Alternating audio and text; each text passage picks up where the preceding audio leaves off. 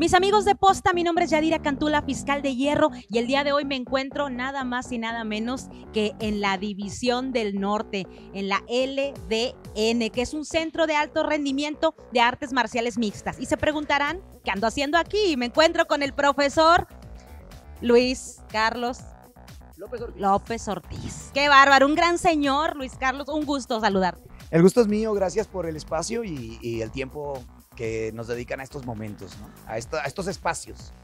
Perfecto. Luis, tú más que nadie conoces las bases de la lucha libre. Entonces, esa es la intención de estar contigo, que nos cuentes un poquito más. Así que todo tuyo los micrófonos. Bueno, eh, hablar de las bases de la lucha libre realmente es hablar de la lucha olímpica.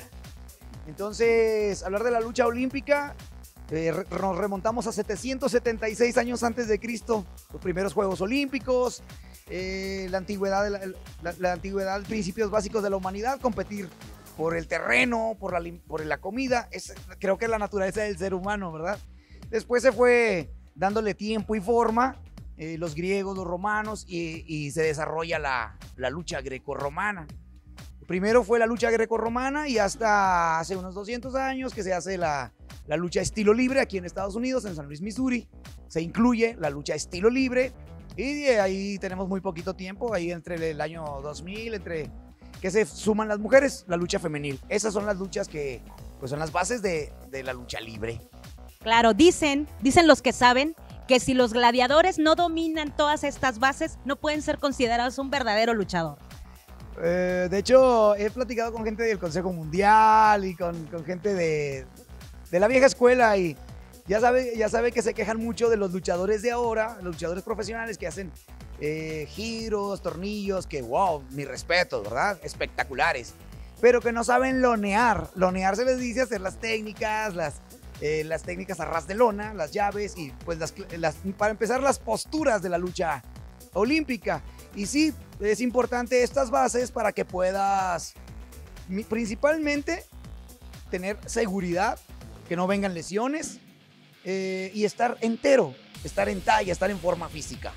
Perfecto. ¿Qué te parece si nos muestras un poquito de tu trabajo con los chavos? Pues para que aprendamos la- las bases, los fundamentos de la lucha libre. Vamos a hablar de los fundamentos, órale.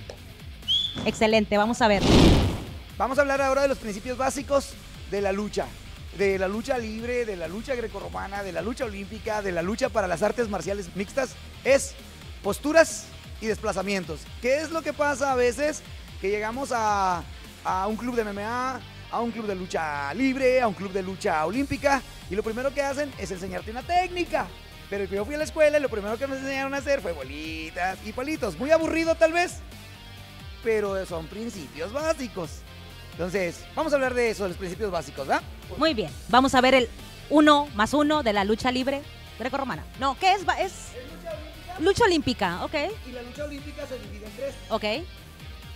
Es lucha greco-romana, que es la más antigua de la humanidad. Se ataca de la cintura hacia arriba. No se puede ganchar o tomar las piernas. Y la lucha estilo libre, se puede ganchar, tomar las piernas con los brazos, con los pies, incluso. Y la lucha femenil. La lucha femenil es una adaptación de la lucha libre, que atacan las piernas. Y hay ciertas técnicas que están prohibidas por el pectoral, lógicamente, ¿verdad? Para evitar el daño a, a la, a la mujer. Pero la mujer también lucha y bien fuerte. Una de las mujeres, eh, hay, hay campeonas olímpicas, campeonas mundiales y cuando he ido a los torneos, la verdad las mujeres se entregan cuerpo y alma. Y entonces lo que vamos a hacer ahorita, ver los principios básicos, que es posturas y desplazamientos. Vamos a ver. Son los principios básicos. ¿Qué, qué es lo que pasa? Que mucha gente te comentaba que muchos llegan y hacen una técnica, ¿no? Y no saben enseñarlos a parar. O sí saben ellos, algunos sí sabemos eh, competir, pero enseñar es otra cosa. Entonces, ¿qué es lo que tenemos que hacer? Eh, empezar desde el uno. ¿Qué hicimos? Postura de lucha y cómo desplazarme hacia adelante. Lo básico es desplazarme hacia adelante, hacia atrás, hacia el derecho, hacia el izquierdo, círculo para el derecho, círculo para el izquierdo. Para todas para todos los lados, enseñarme a tener buena postura y desplazarme. Después hicimos cambio de nivel. Avanzo 1, 2 y cambio el nivel. Hacia atrás, cambio el nivel. Hacia el derecho, cambio el nivel. Después hicimos lo que es un sprawl en el MMA o la defensa. Avanzo 1, 2, defiendo. Simulando el ataque, defiendo. y eh, lo hicimos para todas las direcciones. Y al final sumamos el ataque, que hicimos uno, dos, el ataque. ¡Pam! ¿Cómo simular el ataque al tronco, el ataque a las piernas? Los de Greco atacan por el tronco, los de Libre atacan por las piernas. Y eh, cubrir todas las direcciones, hacia el derecho, hacia el izquierdo, hacia adelante, hacia atrás. Círculo para el derecho, círculo para el izquierdo. La lucha olímpica es un círculo. Las palestras, que eran las salas donde se hacía eh, eh, eh, los combates en la época de, Grecia eran en arena, pero marcaban un círculo para delimitar el área. Entonces se trata, se trata de que no llegues a ese, a ese círculo, que no te saquen del círculo, y por eso los desplazamientos al derecho, desplazamientos al izquierdo. Y buscamos que dominen, se te diste cuenta, por el lado derecho y por el lado izquierdo. Los peleadores de artes marciales mixtas, su derecho es con el izquierdo adelante. Y el, el luchador, su derecho es con el pie derecho adelante. ¿sí? Como el boxeador está en su guardia, con la, guardia, el, el pie izquierdo adelante. Entonces, ¿quién es el mejor? ¿El derecho o el izquierdo? Te pregunto a ti. Mm, yo soy diestra, así que el derecho. El que domina los dos, el ambidiestro. Si voy con un zurdo, con, un peleador zurdo, yo sé defender y atacar por el, por el, izquierdo. Si, sea, si voy con un derecho, sé luchar, pelear, defender y atacar por el derecho. Pero si soy ambidiestro, tengo ventaja del rival. Perfecto. Ahora bien, si un luchador, específicamente un luchador de, lucha libre, no tiene estos conceptos, no los tiene bien sembrados, no los tiene bien fundamentados, ¿qué pasa o cómo te puedes dar cuenta? Ojo ahí. Desde cómo se para. Desde cómo se para, trabaja el luchador profesional, trabaja en un ringside, para mucha gente. Y desde cómo se para, observa. Mira mi tamaño, estoy muy pequeñito. Mido 1,63. Si yo voy y me paro así contigo, mira, observa, ¿verdad? O yo me paro así contigo, o me paro así contigo, observa, ¿verdad? Pero si yo me paro así contigo... ¿Qué tal? Postura de luchador. En la lucha libre, pues... Ah, eh, no deja de, ser este, un entertainment, un espectáculo de mucho riesgo que se requiere atletas de alto rendimiento, en la lucha libre también. Eh, y necesitas estar bien preparado y entender esas cosas. Y fuera de que te das cuenta desde cómo se para cuando van al ras de lona, que se le conoce en la lucha libre como el, ras de lona. Hay luchadores de la vieja guardia, que mi respeto es como para Virus, eh, Negro Navarro, aquí en casa que paz descanse el señor Bluefish, Remo Banda, esos luchadores que saben y se giran y te enredan y con una mano te jalan y te vuelven a dar la vuelta y ni sabes qué pasó, ¿verdad? Eh, eh, esos luchadores dominan la lona, dominan su cuerpo, saben salir por el derecho, por el izquierdo y girar y rodar. Están bien preparados.